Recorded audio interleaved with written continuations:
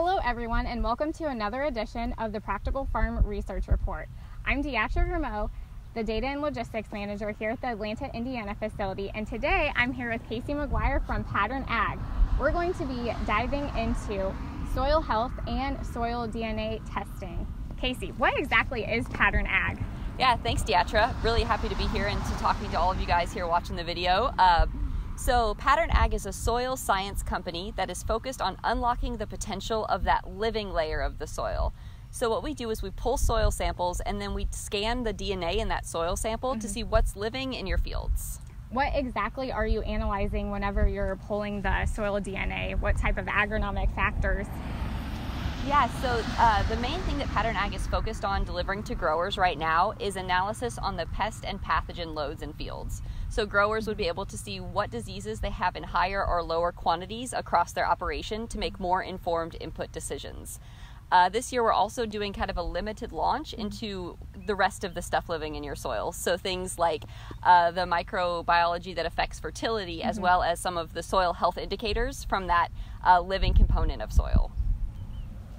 So, Casey, in regards to being able to analyze the DNA of the soils, you're able to do this because a lot of the genomes have been sequenced of the different pathogens that are in the soil?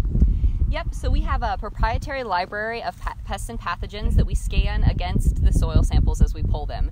And that allows us to get down even to the species level on a lot of the really common uh, things like nematodes.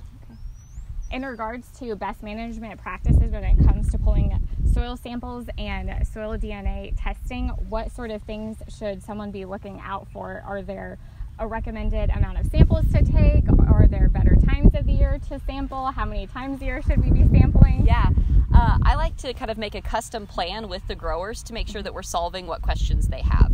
So uh, most of our growers do a year over year analysis, okay. so we want to make sure that we're just sampling at pretty much the same time to make sure we're comparing apples to apples mm-hmm. year over year. Um, we also have some growers who are doing kind of a multi sequenced in season mm-hmm. if they mm-hmm. really want to track the changes over a particular season with a, maybe a trial that they're mm-hmm. doing or that kind of thing. So we really try to customize the plan to answer whatever questions the grower has. Mm-hmm. When a farmer is looking at testing with pattern ag, what sort of results can they expect from your testing? So when growers get the results back, they'll see kind of subfield variability in pathogens as mm-hmm. well as a um, comparison field over field and a farm average. Mm-hmm. So that helps them kind of benchmark the pathogens that they're most concerned about. For example, rootworm mm-hmm. or nematodes, uh, some stalk root rots, things like mm-hmm. that, soil-borne pests and mm-hmm. pathogens. Um, then they can kind of look at their input decisions and make sure that they're putting the right products on the right acre. Mm-hmm things like a seed treatment on mm-hmm. beans. Mm-hmm. You know, do they need to have a higher rate of a seed mm-hmm. treatment active or things like that to make sure that they're properly protected? Um, if they want to go back to some more conventional corn in mm-hmm. different places, where would be the right place to try that? Um, really, so any of the input decisions that they make, they could also just kind of filter those through the mm-hmm. layer of pattern ags analysis okay. to make sure that they're spending the right dollar on the right acre. How does understanding the soil microbial community in a field impact a grower's yield and profitability in regards to soil health? Yeah, so there's so much going on in that mm-hmm. living layer of soil that affects crop outcomes.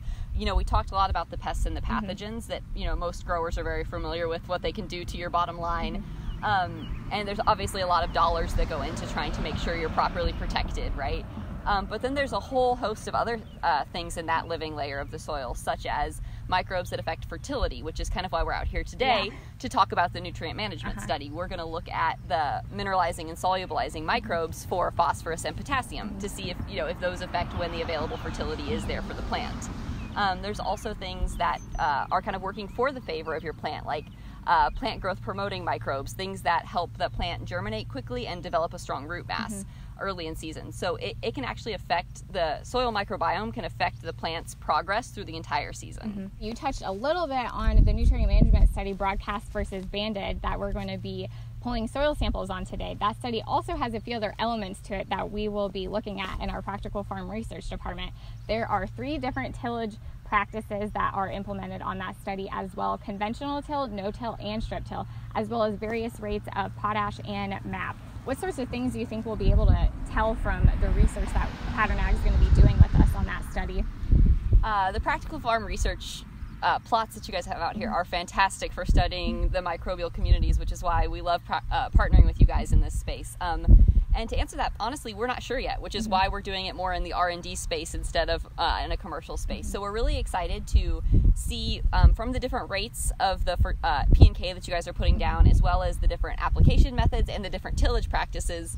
You know, um, how does that affect those uh, mineralizing and solubilizing mm-hmm. microbes that really uh, allow P and K to become available to the plant. So really excited to kind of see of those uh, practices that you guys do, mm-hmm. how is that affecting kind of those those microbes that you can't necessarily see, and ultimately uh, your you know the yield on those mm-hmm. acres as well. So when are microbes more active in the soil? Are there certain environments or times of the year that we can have higher populations that could kind of fluctuate? Yeah. So um, whenever the, the soil gets below 55 mm-hmm. degrees, mm-hmm. most of the microbial activity slows to stops. Um, and so you kind of have this pause from about mm-hmm. harvest to about planting with a relatively stable microbial uh, consortia in mm-hmm. your fields. And that's why the majority of our sampling kind of goes on post harvest mm-hmm. because they have all winter to kind of analyze the results and get a plan for the mm-hmm. start of the next season. Um, as those soil temps warm, most microbial uh, populations uh, kind of hockey stick as they get started, and they have these host plants to, mm-hmm. to you know potentially feed on and all sorts of other stuff. So um, as the season goes on, especially when the conditions are right, you can see big swings in that microbial uh, population. Okay we're definitely excited to see those results. So, another study that we did earlier this year was on our long term tillage study with a continuous corn cropping system and a rotation of corn and soybeans in conventional and no till that we've had for a long time at Beck. So, a lot of people are very familiar with that study. So, what kind of results have we seen from that from Pattern Ag? Yeah, we pulled those samples uh, over the winter and we, we analyzed some key uh, high economic value pests and pathogens for those space. And I would say we saw kind of exactly what you would mm-hmm. expect to see, which is that in the areas that were uh, corn on corn for many, many years, there was almost no sudden death or soybean cyst nematode. Whereas the the areas of the field that had a soybean rotation, which is that host plant, right, mm-hmm. we did see significantly higher levels of both SDS and SCN.